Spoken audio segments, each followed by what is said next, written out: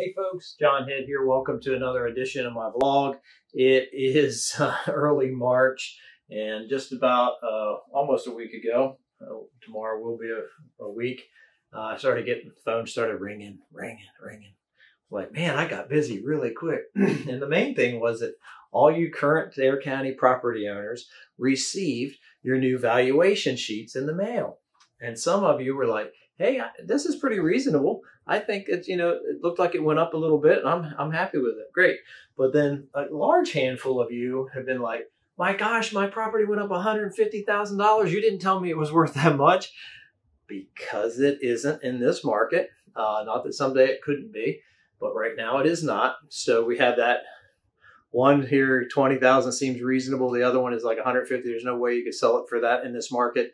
So those are the people that this really addresses. If you've got that letter and you're going, there's no way my home would sell for that price, so it's not the market price, then you need to um, reach out and you know challenge the findings of the tax assessor's office. We're here to help you in real estate. So here's the offer. Um, if you have a house or property, whether you're thinking about listing it or not, or maybe I've already provided you a CMA, a comparable market analysis in the last maybe even three to six months, you can use the comparables in there to show the assessor's office, hey, there's no way. This is what I was quoted from a realtor that my house would potentially sell for, and I didn't want to sell it. That's one way. Second way, John, ring ring, hello.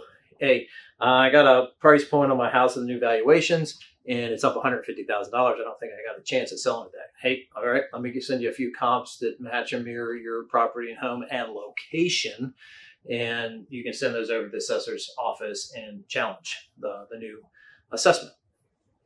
That's our offer to you. Now, we have been extremely busy. It is coming into spring. The sales are hot. And the phone ringing about the new evaluation is a little challenging. But here's the reality that I see. They're using an algorithm or computer model now to derive these values, and it doesn't take into account the uniqueness of the Outer Banks. So you have a home on a canal that only goes up $30,000. That market has been pretty hot.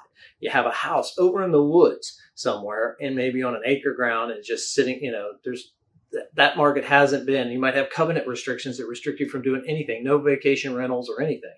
And that goes up 150,000. There's something wrong with that picture.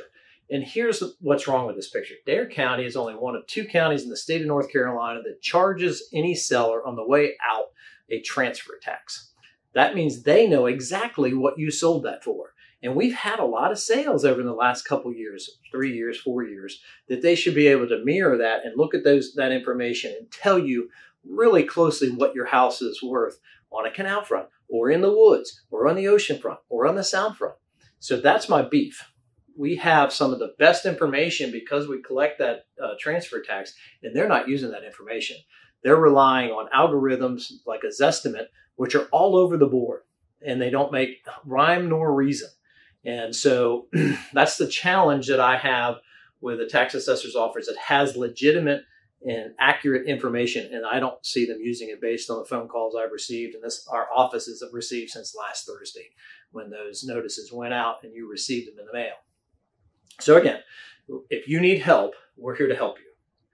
Reach out to us, john at colonyrealtycorp.com, or call me, 252-995-5500. I'm at extension 5501. And if you need to, leave a message on my cell phone, 252-592-4629, and we will do our best to get you that out as quickly as possible. And just leave me, here's what you need to leave me.